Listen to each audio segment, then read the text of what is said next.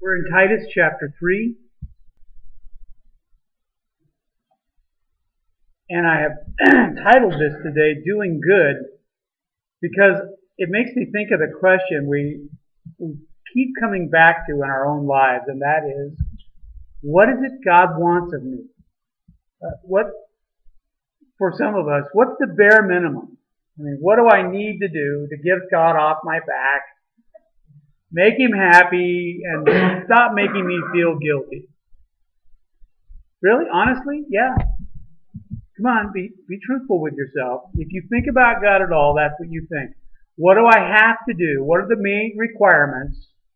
Well, you know, God's told us things like, love the Lord your God with all your heart, soul, mind, and strength. Love your neighbor as yourself. Uh, he's told you, oh man, what is good and what the Lord requires of thee, but to do justly, to love mercy, to walk humbly with God. We read those things and we say, nah, that's not it. There's got to be something else. There's got to be some do and don't list. Don't do this, do do that. Let's take a look at Titus 3, 1 through 8, because you're going to see the heart of the gospel message here. The whole reason there is Christianity in the first place you're going to see in this passage today. Let's look at verses 1 and 2 to begin. Titus 3, 1 and 2. Remind the people to be subject to rulers and authorities, to be obedient, to be ready to do whatever is good, to slander no one, to be peaceful and considerate, and also, always, to be gentle toward everyone. Let's pray. Father, as we open your word this morning, we pray your spirit would open our minds, open our hearts, help us to see what's here, help us to know what you want. Teach us, we pray, so that we might live a peaceable life. We ask it in Jesus' name. Amen. Now remember, this little short epistle letter was written to Titus, who was an assistant of the Apostle Paul. Paul sent him to the island of Crete to put the churches there in order, to set things straight, to teach what they ought to be teaching, and to tell them, no, you shouldn't be doing that. And so when he comes to chapter 3, and he says, remind the people, he's just continuing his list of do's and things that he has for Titus to do. His Titus do list. So remind the people. Here's some things they need to be remembering. Be subject to rulers and authorities. Be obedient. Be ready to do whatever is good. Don't slander anyone. Be peaceful. Be considerate. Be gentle. That's not bad. But yet, well, if you've got a Facebook page, you'll know that those things don't come easily. peaceful, gentle. No, it's that guy's a jerk and he's ruining the whole world. But I come to the very first thing he says there. Remind them to be subject to rulers and authorities. Americans don't like that. Be subject. Especially when you don't particularly care for whoever the current govern, government is. Oh, it was okay with that guy, but this one over oh, he's evil, he's, he's the devil incarnate. Let me help you out something here. When Paul wrote this to Titus, you know who the emperor was of Rome? Nero. Crazy, Christian burning Nero. Paul wrote this knowing, he, he wasn't, oh, gee, is Nero a nut? I didn't know that. No. He knew perfectly well what was going on. But let me tell you this. It's just like uh, anything else in your Christian life. This is a choice. It is better for you to be subject than to be subjected. It's better for you to choose to live in a certain way than it is for someone to put a gun to your head and say, you will live this way. Your choice. What are you going to do? And then Paul is just saying, All of this is about how Christians as a people ought to be living their daily life. Not grabbing a sword like Peter and chopping off ears because, you know, we gotta save Jesus. But to be living a life that's, that's peaceful and not quarrelsome and gentle and getting along with what's going on. Now there are times when you have to say, I'm sorry, I can't agree with that, I won't do that, but you don't have to be a jerk about it either. Paul's point is that Christians ought to glorify God with how they live. Our lives ought to be a benefit to other people. Not, why does that person live? Let's all find a way to get rid of him. When you live loving God and loving others, you live a life that's doing good, which is what Paul says there. That's the positive side. Being subject, that's something we don't want to hear about. But living a life that's peaceful and not quarrelsome and that's gentle, that benefits other people. That's positive. That's what we ought to be doing. And what does that do? It makes people look at us and go, well, maybe they really do believe what they say. Maybe it isn't just about me getting what I can get. Slander no one. Wow, that's interesting. Negatively means we're not supposed to harm other people. But positively, there's a good thing in that also. That we ought to be standing for the truth and saying the truth about people even if we don't particularly like them. The medical profession has a ethic, and the ethic is stated in these words. Do no harm. Now what that means is this. If you come into the doctor and you are all destroyed and eaten up either by a disease or you've been in some sort of accident, you're all ripped up, the doctor looks at you and says, there is not a thing I can do for this person to make him any better. The least that person can do is not make you any worse. That's what do no harm means. If you can't help them, at least don't make them any worse. And I would say that for this in your Christian witness, in your Christian life.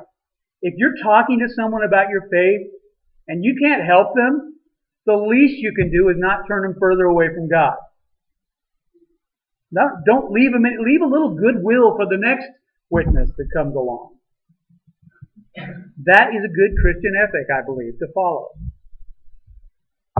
Don't slander people. Don't trash people. You know what? There are some people that I don't like. And I'm the pastor. But I'm also a human, just like you. And there are people that rub me the wrong way. And you may not have noticed this about me, but I can be sarcastic. I find it easy and desirable to say clever things about others. this is written to me. Don, read it in. Okay. Verse 3.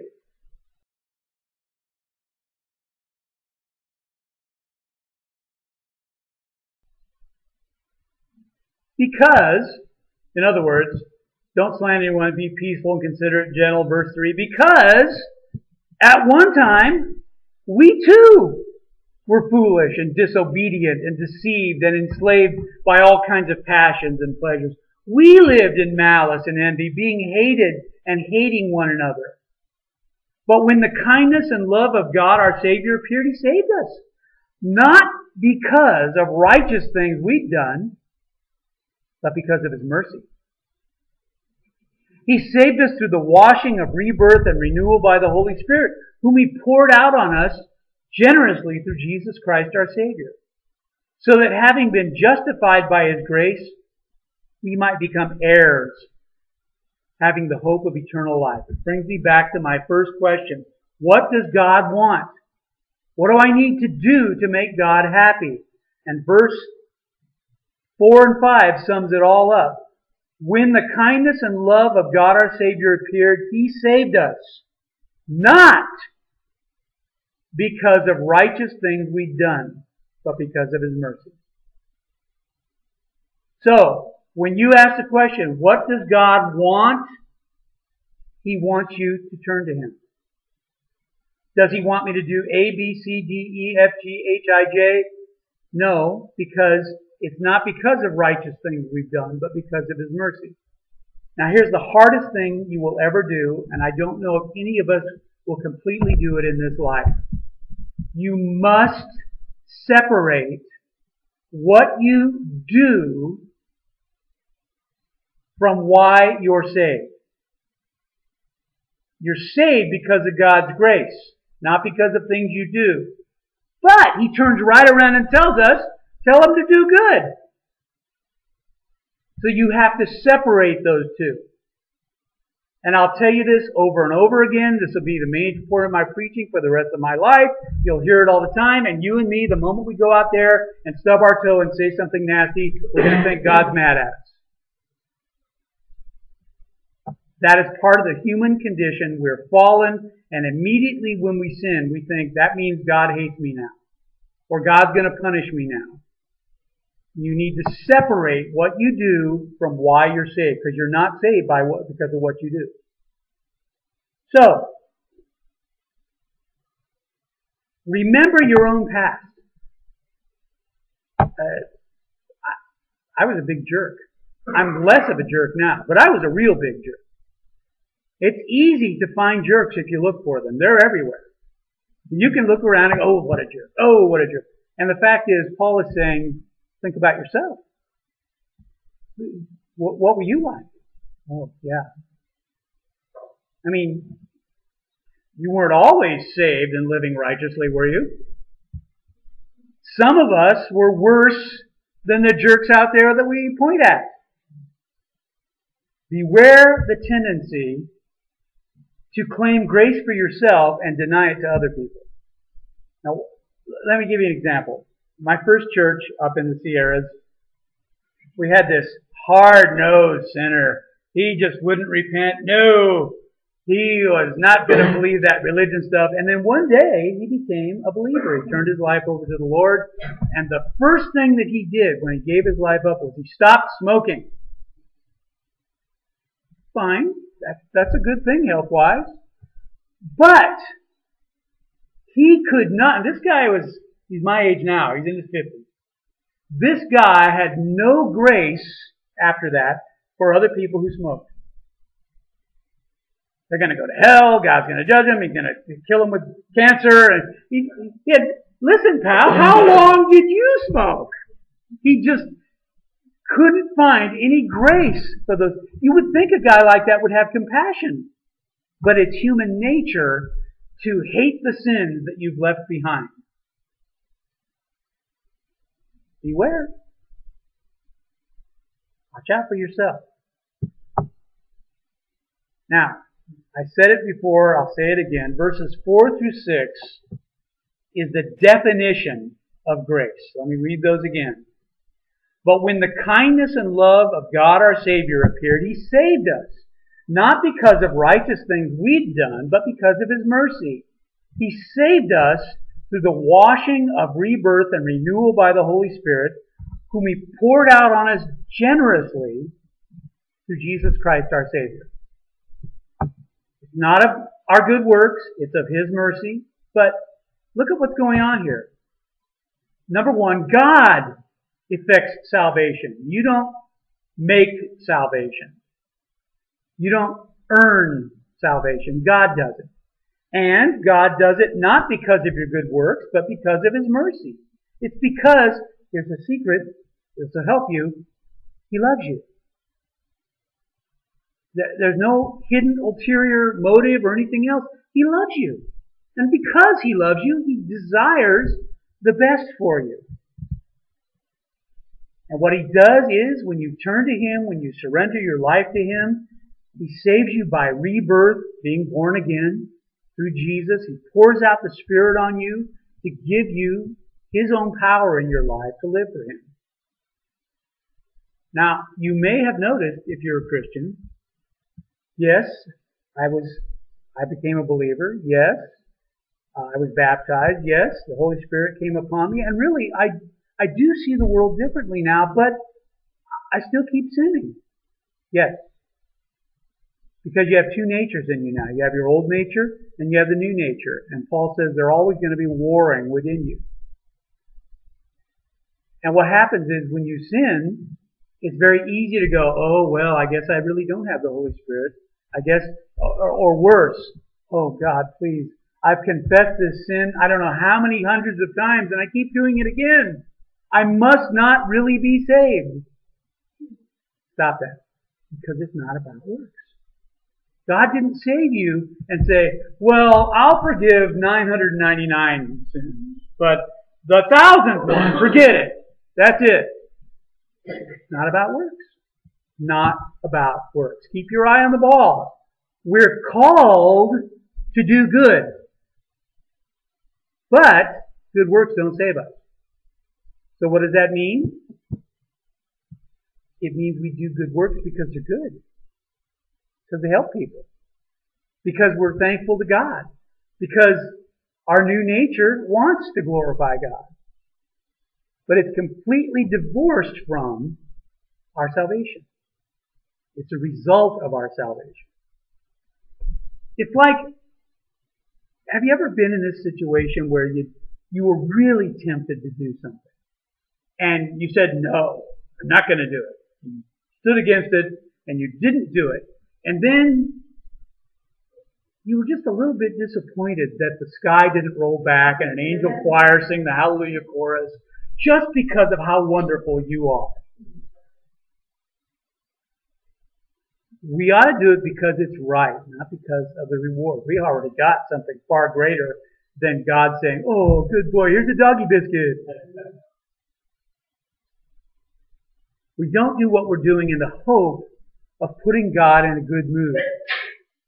He already loves you. Salvation is by grace, through faith, not a result of works so that no one can brag about it. That's right there. That is the heart of Christianity. That's why we come here to worship. That's why we sing songs. That's why we band together. That's why we support one another. Because Jesus saved us by His grace. And that's it. And because of that, we desire to live a life that glorifies Him. Verse 8.